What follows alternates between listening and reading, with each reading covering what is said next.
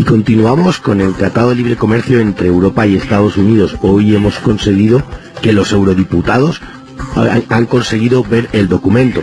Bueno, hoy estamos con Jordi Sebastián, él es eurodiputado por Compromiso y por Primavera Europea. Bueno, Jordi, un fuerte saludo de contagioradio.com.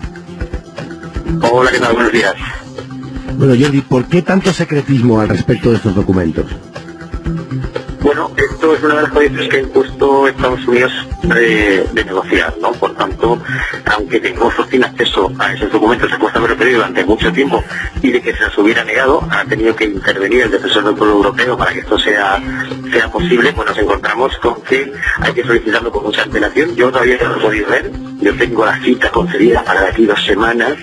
Eh, allí eh, entraremos en una sala donde están los documentos eh, que no podremos ni fotografiar, ni fotografiar, sino que tenemos que ir a la vieja, la vieja usando con un bolígrafo, un papel para tomar allí las notas y además habrá presente, un funcionario que dirigirá la prensa, no fotos ni nada de esto. Por tanto, esa situación eh, extraña parece ser que es norma habitual en las negociaciones de donde Estados Unidos está presente, pero no lo es en las europeas, ¿no? Por tanto, nosotros consideramos que esta no es una fórmula correcta, ¿no? Que todo aquello que no tiene transparencia, pues siempre resulta sospechoso.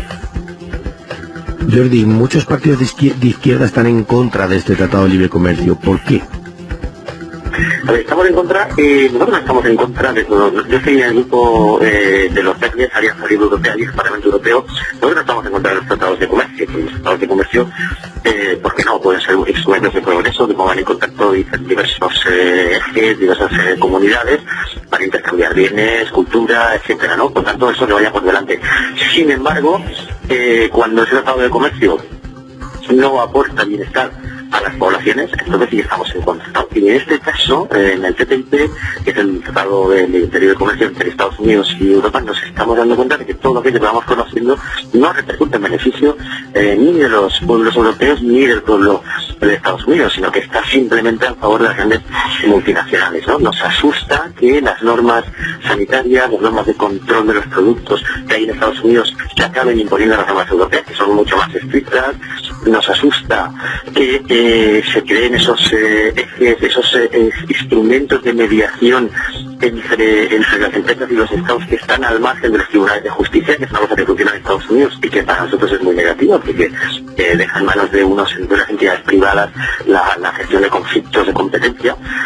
nos asusta que las normas sociales y ambientales americanas, que son muy inferiores a las europeas, estén vigentes, que nos entren unos, un tipo de productos que pueden hacer una competencia desde el punto de vista desleal a los productos europeos. Es decir, hay un montón de cosas que nos preocupan, que vemos que no vamos a salir beneficiados en absoluto y que solo van a beneficiarse las grandes multinacionales. Por tanto, los estados de comercio, desde este punto de vista, no son para eso. Así que si no hay beneficio para la ciudadanía, pues, pues nada, pues no hay por qué hacer ese tratado. ¿no? Además, Europa está enfrascada en un proyecto muy importante de crear un mercado único europeo entre todos los pueblos de Europa, ¿no?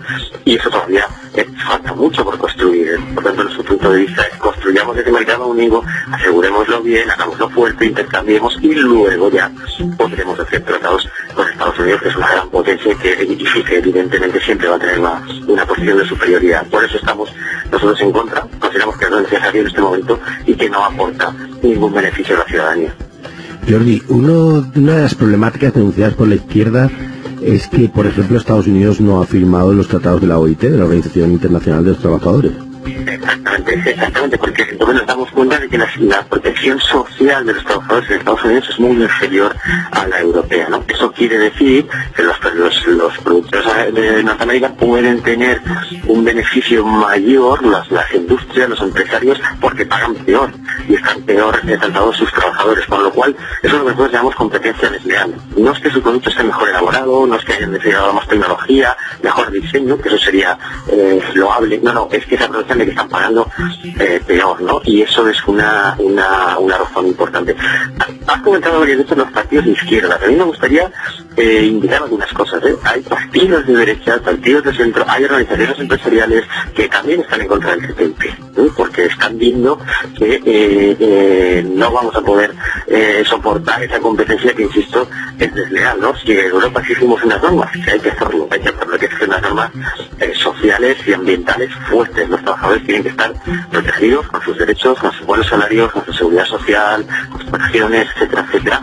Si exigimos eso, tenemos que exigirlo también a los productos que vengan, a los productores y a los productos que vengan de, de fuera, ¿no? Jordi, ¿hay alguna posibilidad que con el gobierno de Siriza o con futuros posibles gobiernos de izquierda en otros países se bloquee este tratado?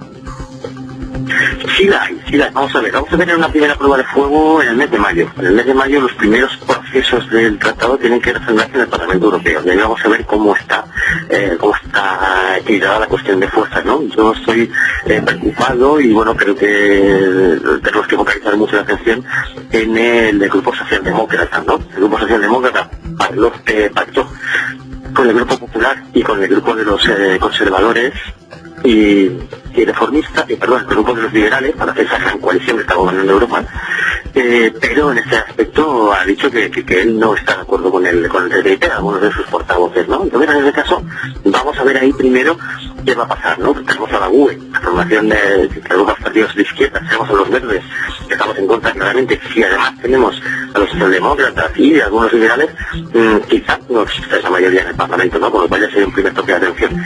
Y luego, eh, lo que tú has comentado es totalmente cierto. Los países de la Unión Europea tienen que refrendar. Y Siriza ya ha dicho que ellos no van a refrendar eh, un, un, acuerdo en esa, en esa línea, ¿no? Por tanto, sí que hay posibilidades de que, se, de que ese acuerdo, como mínimo, se quede paralizado, ¿no? Se quede ahí en el cajón, esperando otros, otros tiempos u otras formas de elaborarlo. Son las 8 de la mañana, 29 minutos en Colombia, 2 de la tarde, 29 minutos en España y allá donde usted está, eurodiputado. Quiero preguntarle, eh, pues, ¿por qué tanto secreto? ¿Por qué no se permite la apertura del documento? Si en últimas, pues va a tener que ser eh, discutido en el Europarlamento y con lo que usted dice seguramente, pues va a quedarse ahí. ¿Qué es lo que quieren ocultar o qué es lo que se pretende con este ocultamiento? Yo eh, quiero quiero verlo para saber exactamente, ¿no? Pero obviamente resulta muy sospechoso que una negociación se haga en secreto, ¿no? ¿Qué es lo que podemos esperar ahí que esté oculto? Pues como, como he comentado antes, en un par de semanas yo tendré acceso al documento, un par de horas, vamos a ver lo que puedo consultar en ese tiempo, ¿no? Pero es evidente que eh, imaginamos que habrá algunas cláusulas que lógicamente no serán muy bien recibidas por la ciudadanía europea y que por tanto eh, está intentando ocultarlas, ¿no? Uno no puede evitar pensar mal cuando eh, la otra parte está negociando el secreto y siendo secreto, ¿no? Vamos a verlo, yo intentaré, ya digo que tengo la autorización para ir por semanas y tendré más información, ¿no? Pero la gente que ha podido, que ha podido verlo, pues te dice, pues eso, ¿no? Que tiene dos horas, que es muy complicado, que hay un, una documentación enorme, por tanto, eh, aunque, aunque te tengas que consultar, no te da tiempo realmente a, ver bien los documentos, ¿no? Por tanto, eso es sospechoso, eh, hay que recelar y esa no es forma de negociar, hay que poner una transparencia absoluta, porque eso es la clave de un buen proceso. Eh, eurodiputado Jordi Sebastián, usted dice que eh, la ciudadanía europea necesita unas condiciones de vida mejores y que seguramente este tratado de libre comercio estará en contravía de esas necesidades. Entonces, eh, ¿qué se está haciendo? ¿Qué está impulsando el Europarlamento? ¿O qué se puede hacer si es que algo hay? para que esas condiciones de vida mejoren porque todas las señales de la economía mundial pues están apuntando en el sentido contrario. En esa línea, pues, ¿a qué le están apuntando ustedes? Es decir, ¿qué se está haciendo no solamente para enfrentar los ataques como este Tratado de Libre Comercio, sino para ir proponiendo nuevos sistemas?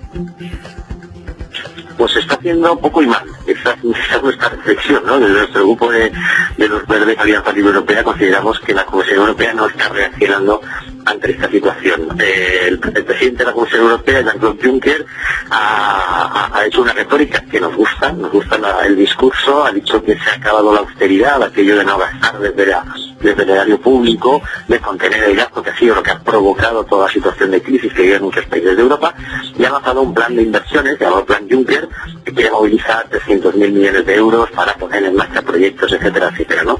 Es un plan muy vago, muy poco concreto, y a nosotros nos preocupa que vaya en la dirección eh, de lo que ya eh, provocó la crisis, ¿no? Volver a crecer económicamente sin infraestructuras serias, sin tener en cuenta los beneficios sociales, ¿no? Nosotros estamos planteando lo que nosotros llamamos un nuevo plan un nuevo plan de inversiones verdes, estamos planeando, eh, estamos proponiendo una, una, un, un, refuerzo de los sectores públicos, de la sanidad, de la, de la educación. Estamos planeando que haya un cambio de modelo energético importante, que apostemos definitivamente por las eh, energías alternativas, que haya un plan de rehabilitación de todos los edificios que necesitan para tener una eficiencia energética, plantear una creación de puestos de trabajo en una línea eh, sostenible, duradera y con unas condiciones sociales eh, que sean buenas, ¿no? que la gente pues deje de pasar de las penalidades que está sufriendo. ¿no? Por eso lo más importante en este momento es crear una, un plan de choque